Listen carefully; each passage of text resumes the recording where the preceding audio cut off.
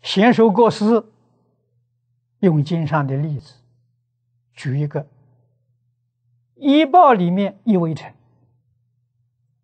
这最小的物质最小的。现在科学家跟我们讲的基本粒子，夸克，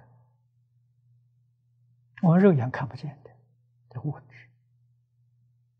啊，正报里面跟我们讲的一毛孔，一毛端。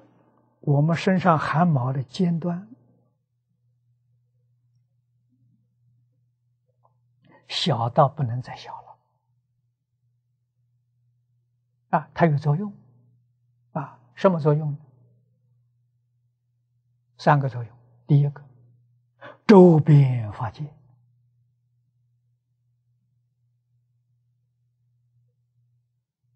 这个周边发界，我们用今天科学讲的波动。物质有波动，啊，为什么有波动呢？因为组成这个物质的是四大了。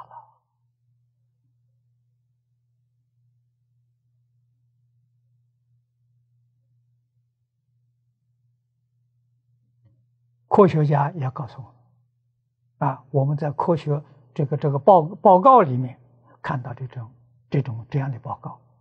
啊，有科学家讲，宇宙什么东西都没有，只有波动。所有一切现象啊，都是从波动发生的。啊，有这么一说。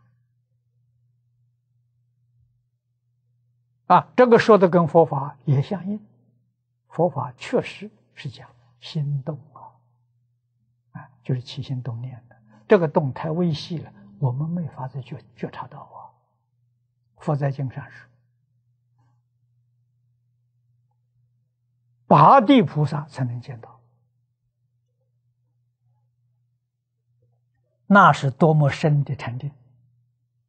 七地以前都见不到啊，在听说，像我们都听说的，没见到啊。啊八地就证得了，他见到了啊。八地以上，九地、十地、十一地妙觉，五个位次，这五个位次他们见到了。这不是假的啊！有人来做见证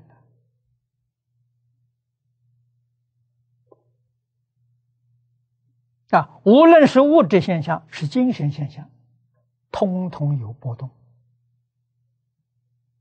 啊！这个波动极其微细的波动，它已经周边发现了。我们起个念头说别人不知道，没有这个道理。那什么？那是我们自己无知，自己以为可以瞒着别人，实际上，心地清净的人全知道。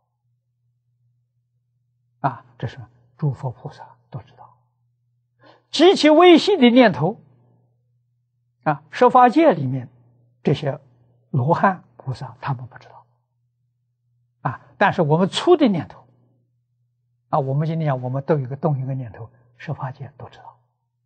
极其微细的，就是一弹指啊，三百二十兆的那个念头，他不知道，阿罗汉不知道，设法界里面的佛也不知道，